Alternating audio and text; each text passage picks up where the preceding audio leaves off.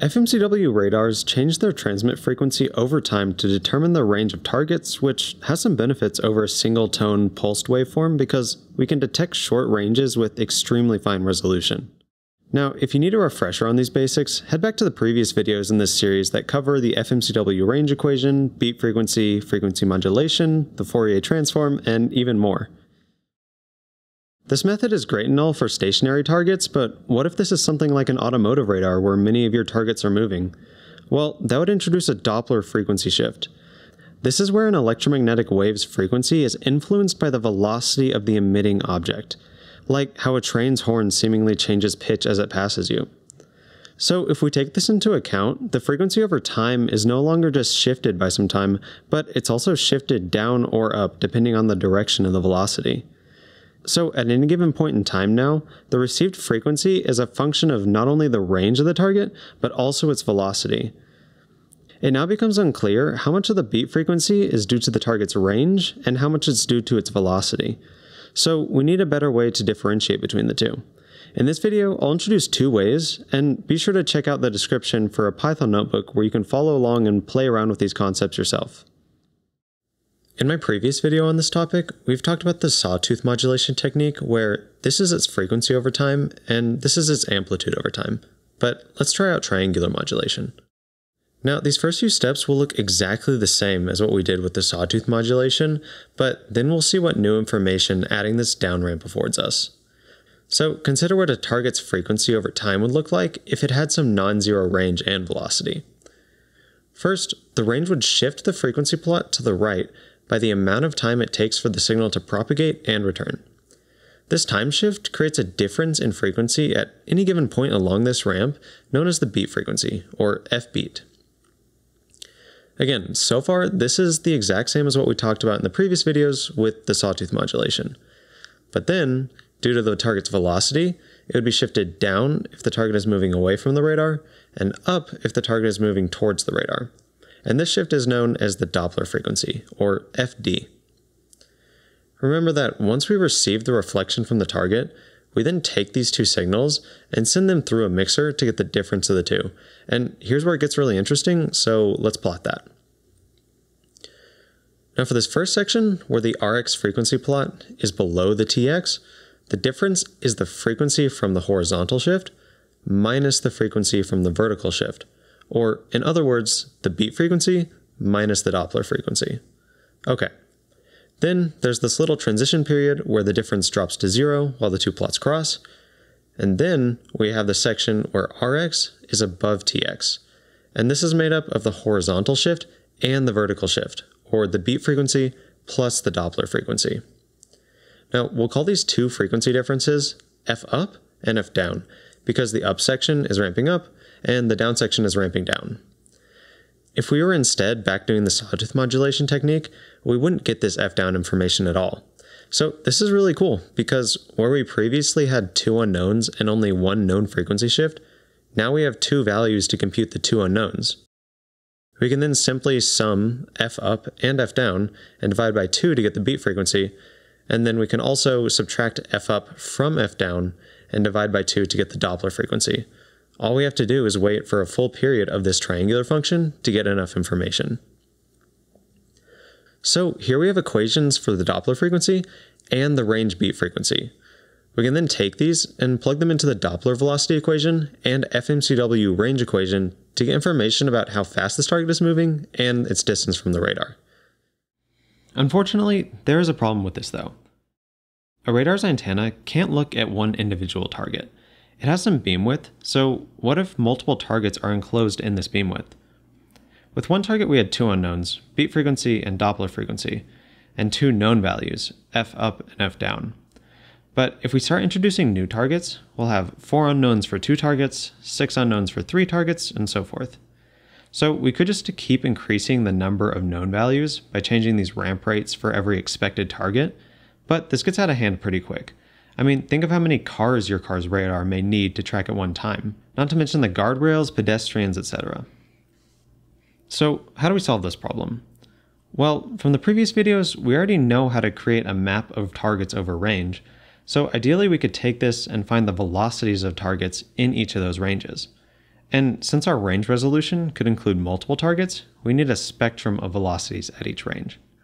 So this goes from a one-dimensional range spectrum to a two-dimensional range and velocity spectrum, or range Doppler spectrum.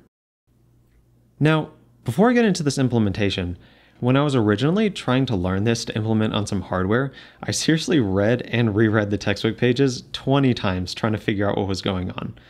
So I will walk through this next section pretty slowly and use mostly visuals instead of throwing a bunch of equations at you. Once you've watched the visual explanation, I highly recommend you go to the description where you'll find some code to mess around with this yourself, right in the browser, so no need to have Python set up on your computer. It also includes more in-depth equations and a challenge problem at the end to solve yourself. Leave a comment if you find a solution. Okay, so as a refresher, we have our transmit signal, then the signal that we receive after it's reflected, and then we take those and put them through a mixer to get the intermediate frequency, that contains our beat signal and a larger frequency term. We then pass it through a low pass filter and get our isolated beat signal. Now, up to this point, I've kind of been ignoring some component of this signal, the phase. If we just have one signal, it's completely fine to ignore because a single phase value doesn't mean much. It really just shifts the sine wave in time, but doesn't change any other characteristic. It starts to matter when we have another phase value to compare it to. Like say, if we had multiple of these signals over time, we could see the phase delta between each one. But what is this phase delta actually though? Well, if our target is stationary and we take a measurement, then wait for the FMCW ramp time to finish and take another measurement, we'll get back two equivalent signals and that phase delta will be zero. But it gets more interesting if the target is moving. And this may be more clear if we take a look at an actual system. So let's pull in the AWR 1642, which is an integrated automotive radar chip from Texas Instruments. Not sponsored, by the way, just a really cool chip. This thing can transmit a signal centered around 76 to 81 gigahertz. For this, I'll pick 77 gigahertz. Then it can ramp over large bandwidths over a chirp time. For this, I'll choose 1.6 gigahertz over 40 microseconds. Don't forget that you can play around with these values in the notebook in the description. So going back to the measurement scene, if your car is coming towards someone 20 meters away at 10 meters per second, you definitely want your car to notice because in only two seconds you can hit this person and do some serious damage. But if we take a measurement, find the person's distance, and then take another measurement at the next ramp, which is 40 microseconds later, even though you're heading towards this person at dangerous speeds, the distance it traveled in 40 microseconds is only 0.0004 meters. And given that the system's bandwidth is 1.6 gigahertz, the range resolution would be more than 200 times larger than this range shift, so we can't detect this difference at all. Luckily, phase is much more sensitive to change, so let's try using that instead. The equation for phase due to a moving target is kind of long and consists of five main components. Like I mentioned, the phase is only valuable when you compare it to something else, so we compare the phase to the previous chirp's phase to get a phase delta, measured in radians. The first component is a function of the change in range between samples, which, as we just found, is really small and comes out to be about 0.027 radians.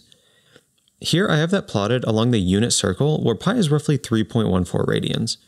The second is the chirp rate over the time shift, which is even smaller, on the order of 10 to the negative 10th radians. And then the third takes into account the target distance and velocity and comes out to be pretty tiny as well. Now, the fourth is the most interesting because it's directly proportional to the target's change in return time due to velocity, and it comes out to about 1.3 radians, by far the largest of the previous three. Because of this, we can approximate that the phase delta is equal to the 2 pi times the radar's frequency times the time shift from chirp to chirp due to the velocity. And if you want to dive into this equation more, you can check out the notebook in the description. Okay, so from the same chirp, let's assume we have three targets in the scene, and two of them are at the same range with different velocities, and the other is at a different range. So that means we get three sinusoids with two unique beat frequencies and three unique relative phases. We can then sample this and get a one-dimensional set of data where the difference between samples is our system's sampling period, TS. Then, if we wanted to compare targets, phases from chirp to chirp, we could transmit more chirps and take another set of measurements.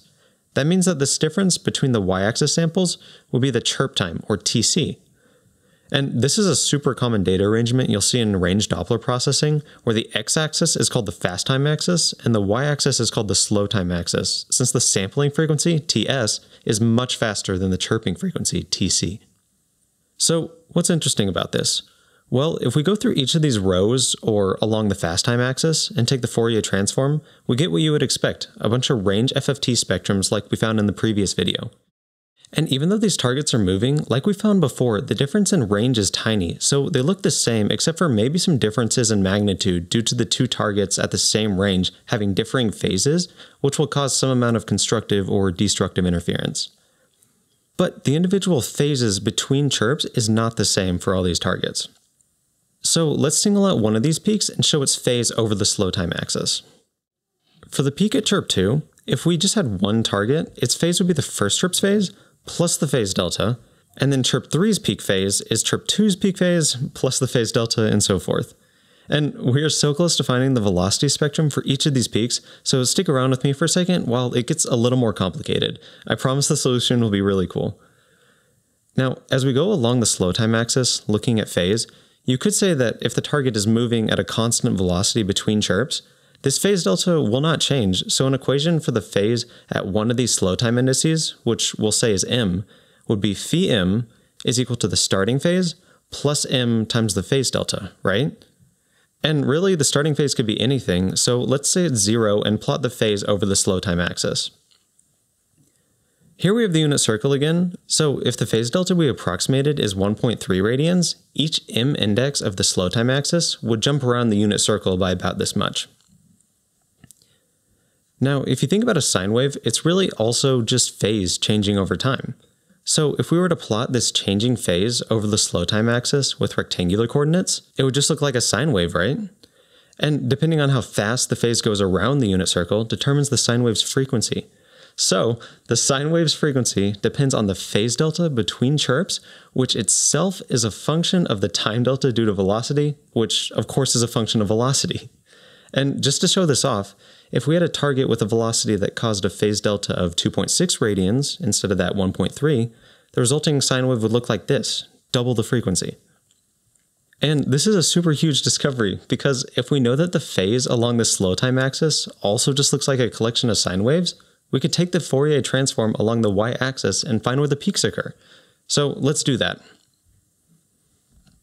Here we have the FFT along the slow time axis at the peak that consists of two different targets. Since there's two targets traveling at two different speeds, we actually get two peaks in the velocity spectrum. Each of these peaks are then a function of how fast and in what direction the phase is going around the unit circle or how large that phase delta is between chirps, which again is a function of velocity. Insanely cool, right?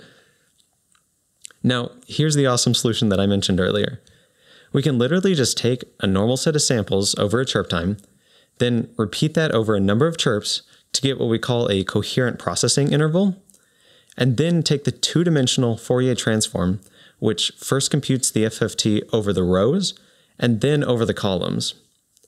That'll then give us an output where the x-axis is range and the y-axis is velocity. And this just comes out to be a few lines of Python code to do all this complicated math. So let's go back into our example system and make this a little more concrete. Again, we have the same radar chip that's operating at a center frequency of 77 gigahertz with a bandwidth of 1.6 gigahertz over a chirp time of 40 microseconds. And here's what that chirp would look like. To get the slow time axis, we'll repeat this chirp m times.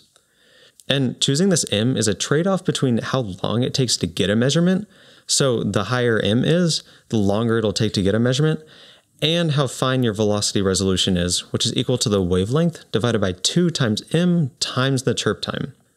For this, I'll choose m equals 40 to get a velocity resolution of 1.2 meters per second, but you could play around with this yourself. Now, this would mean that we can differentiate between targets if they're traveling at speeds that differ by at least 1.2 meters per second. So then here we have this collection of chirps that again is called the coherent processing interval, or CPI. Also, while we're at it, we can find the maximum velocity that we can detect for our system, which is a function of the chirp time of this waveform, and it comes out to 24.3 meters per second. So, say we have three targets one 20 meters from the radar, traveling at 10 meters per second, one 20 meters away from the radar, traveling at negative 10 meters per second, and one at 5 meters away, traveling at 5 meters per second.